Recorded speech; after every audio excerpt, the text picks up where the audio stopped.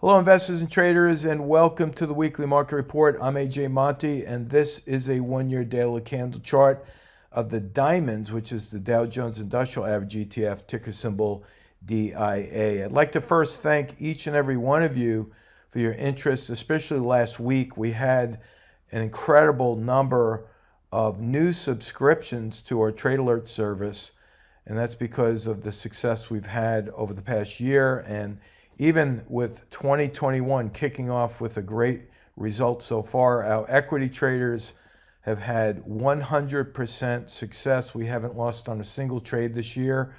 We have mixed our positions up both on the long side and on the short side for our option traders. We haven't taken a single loss on any of our option trades since we started the service here. And again, thanks to all of you and your responses and your sharing and your liking of the videos. Again, I really appreciate that. Now, as we go into the major markets, I'm going to continue to wave that caution flag. Why? Because we have a step up here. You can see the moving average is still going up.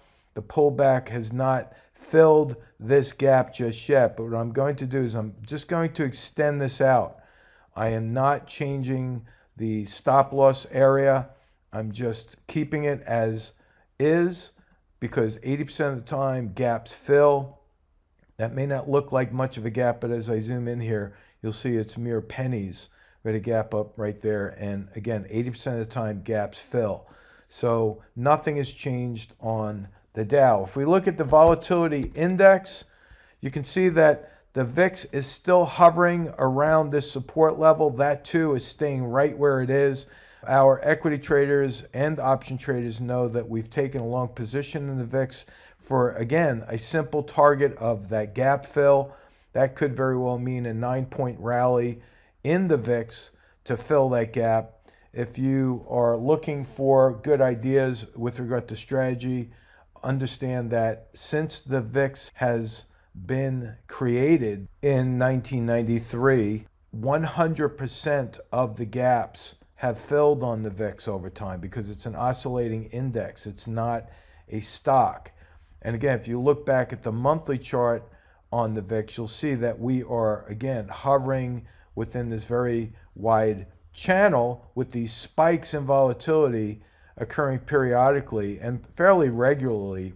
So as we are on this support level down here, we continue to maintain a long bias position on the VIX, which in turn, for the most part, the VIX is inversely related to the S&P.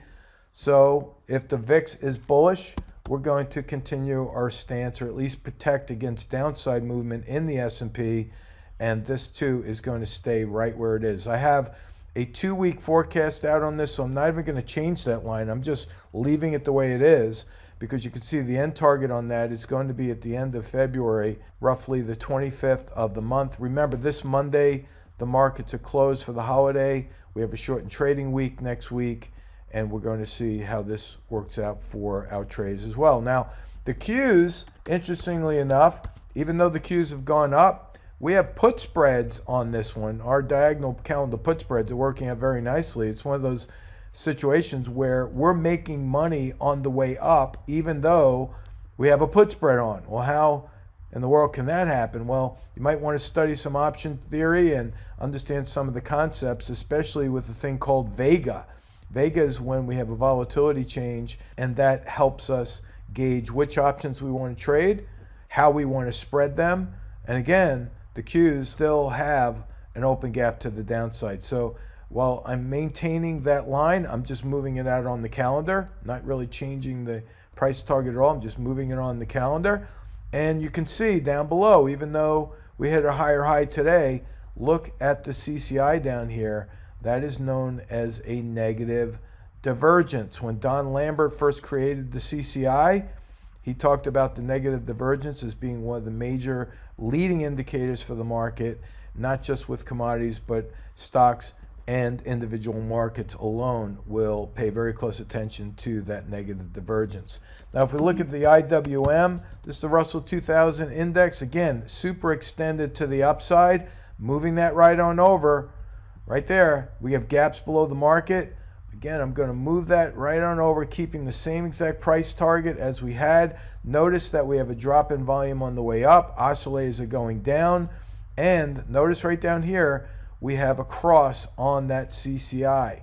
So what does that mean? Trail your stop up. We have a gap down there. That's a support level. If you are along anything in the Russell 2000, move your stops up move it up to the most recent support level here, or if you want to get a little bit more aggressive with your stop, you could place that stop below the 20 period moving average. If you are interested in following along with our trading alerts or subscribing to our member base, then feel free to click on the links that I have below in the description page. I again want to thank you for liking, for sharing, for subscribing. It's what keeps us going, it keeps us growing and you're helping a lot of other people spread the word about technical analysis. So have a great long weekend, and we'll talk to you soon. So long.